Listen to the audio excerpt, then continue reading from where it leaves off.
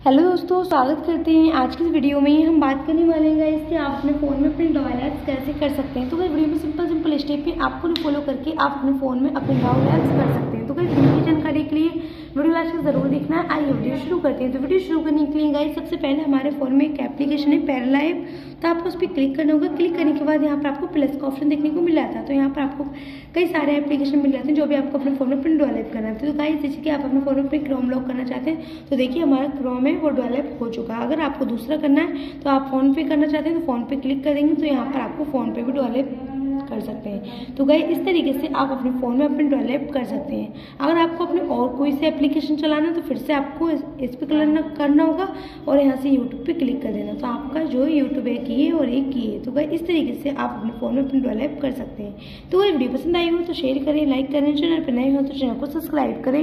मिलते हैं अगले नेक्स्ट वीडियो में। तब तक के लिए bye bye and take care